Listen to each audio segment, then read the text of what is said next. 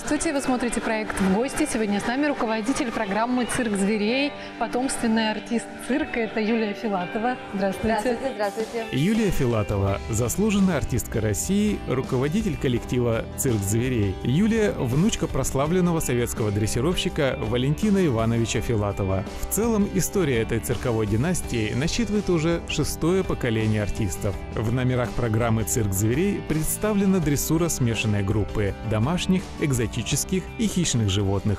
Очень приятно, что вы к нам пришли. Да, мне очень приятно вас видеть, тем более не одно, а с таким очаровательным компаньоном. Компаньоном, да, это кто моя это? кнопочка, это шпиц. А, Кнопочка – это мой талисман, а, мой антистресс, а, моя подруга, э, в общем, ну, все в моей жизни, скажем так. Наличие кнопочки у вас на руках э, может э, дать понять зрителю, что вы продолжатель династии именно дрессировщиков. Да, э, это ос- основная, как бы, основное направление, потому что наша династия берет свой отчет с 1836 года, и основа, естественно, дрессура. Дрессура разных животных. Изначально это были львы, медведи, потом немножечко обезьян, потом добавились попугаи. И, в общем, в конечном итоге более узкая специальность, она расширилась. И, можно сказать, на данный момент а, мы являемся дрессировщиками разных видов животных, то есть как бы разносторонние. И это очень здорово, это очень интересно, потому что каждое животное, оно своеобразно, оно по-своему интересно, как психологически, так и интеллектуально, и поэтому очень интересно работать. Ваш э, дедушка Валентин Филатов остался в истории советского цирка как один из самых легендарных артистов и основателей номера вместе с медведями. Да, медвежий цирк, потому что он увидел в медведях то, что медведи настолько безграничны в своих возможностях, а, что они могут повторить все жанры циркового искусства. У них очень похож а, скелет на скелет человека, да, как бы, и тем самым им а, несложно ходить на передних лапах, танцевать вальс, а, с- держать баланс определенный. И это как раз, вот эти наблюдения, они и вошли в основу. В основу этого замечательного аттракциона, который действительно принес нам мировую известность. А следующая, как бы, его большая очень работа, это была «Цирк зверей». А, собственно говоря, а, вот мы носим дальше, продолжаем носить это название «Цирк зверей», и основа этого названия не то, что а, в количестве животных, да, которые принимают участие в нашем представлении, а в качестве исполнения трюков и в качестве а, легкого соревнования, скажем так, между животными и артистами в разных жанрах циркового искусства. То есть, если у нас есть э, э, воздушная гимнастка, у нас есть обезьяна воздушная гимнастка, есть жонглеры, есть медведь-жонглер.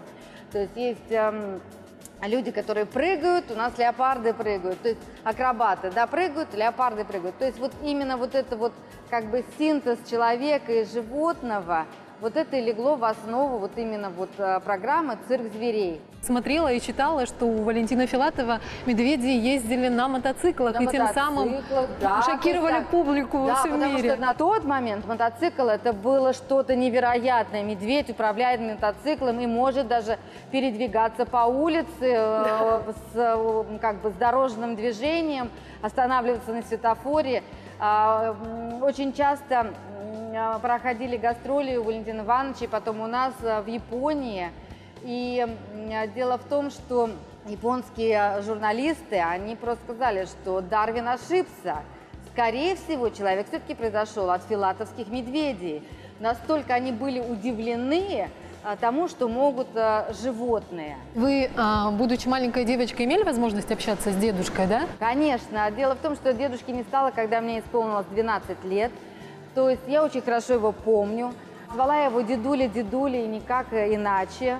Это был самый главный человек, и он остался самым главным человеком в моей жизни. Это мой кумир.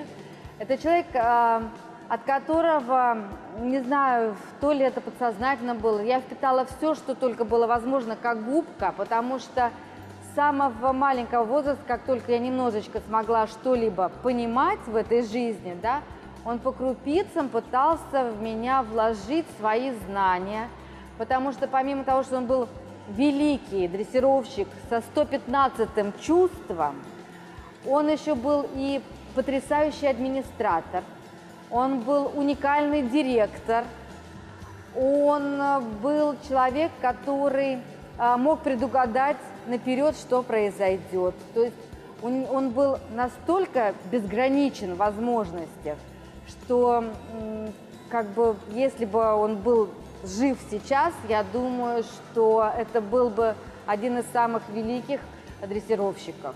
А вообще для вас в юности стоял вопрос остаться в цирке или выбрать какую-то другую а, профессию? Вы знаете, а, такой момент, что в нашей семье изначально, из поколения в поколение идет такой как бы момент, мы никого, дедушка не тащил, скажем так, в цирк, не заставлял заниматься ни Людмилу Валентину, мою маму, свою старшую дочь, ни младшую дочь Татьяну Валентину.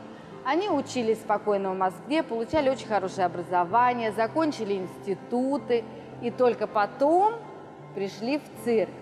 То же самое было со мной. Меня никто не заставлял прийти в цирк. Но, видно, Валентин Иванович в какой-то определенный момент, будучи еще уже когда жил, жив, он почувствовал, а, что все-таки я приду в цирк. И когда мне было пять лет, он сделал посвящение меня в артистки цирка заранее. При этом был мой первый выход с собачкой. Собачка там прыгала через колечко. Звали собачку, очень хорошо помню, Маркиз. Это тоже был шпиц. Я просто преклоняюсь перед этой породой. Это самая умная, я считаю, порода вообще на Земле. В пять лет он меня посвятил в артистский цирк, и потом об этом все забылось. Потом, а, через какое-то время, он решил заранее а, написать сценарий и создал номер «Иллюзия с мелкими дрессированными животными». К сожалению, выпуск он его, этого номера он не увидел. Но он постарался о том, чтобы у меня были гениальные педагоги, режиссеры, например, у меня была а, Людмила Касаткина, она ставила мне и сцену речи, и походку, и занималась со мной у станка, и учила, как маленькая девочка, там, в 12 лет, как я должна э, быть на манеже. Вот я говорю, у меня были потрясающие педагоги, замечательный режиссер Местечкин – и, наверное, из-за этого как бы получилось то, что получилось, да, потому что э, я как бы по жизни такая, скажем так, очень веселушка. Мне хотелось э, погулять со школьными товарищами, а тут приходилось много работать. В общем, как бы так получилось, что когда дедушки уже не стало, я начала работать эту иллюзию с мелкими дрессированными животными, и в один прекрасный момент, это было в Перми, 1 а, июня, День защиты а, детей, я отработала иллюзию с мелкими дрессированными животными. Мне уже было на тот момент 15 а, лет. И, скажем так, видно, это был такой переходный возраст, что меня, как я говорю, перемкнуло. Я пришла к родителям и сказала, я больше обманывать людей не могу и не хочу работать этот номер. Я хочу свой. Ну и потом потихонечку вот как бы создавалось то, что создалось э, сейчас, а теперь э, это все работают мои дети, которым точно так же был дан э, выбор либо найти себя в другой стезе, они тоже учились, учились в хороших школах, занимались музыкой, карате, плаванием, закончили училище, институты. Младший Миша, сын, сейчас на четвертом курсе института учится, продолжает. То есть, но в определенный момент оба пришли в цирк. И теперь продолжают то дело, которое когда-то начал их прадедушка Валентин Иванович Филатов. Как вы уже сказали, в вашей программе множество разных животных, включая хищников. При этом вы, ваши номера вы работаете без ограждения. Да. Что дает вам уверенность, что все будет в рамках э, задуманного? Уверенность того, что все это придумал Валентин Иванович Филатов. Потому что для того, чтобы мы начали работать э, леопардов без заградительной сетки, работало 5 лет. 5 лет создавалась, э, была группа инженеров, которые просчитывали, специально высоту тум для леопардов, вес, длину поводка, То есть э, расстояние, где стоят тумбы от барьера. Разрабатывалась скажем так, своеобразная тренинговая работа с э, малышами-леопардиками для того, чтобы они понимали, что барьер – это невидимая оградительная сетка. За него заходить нельзя.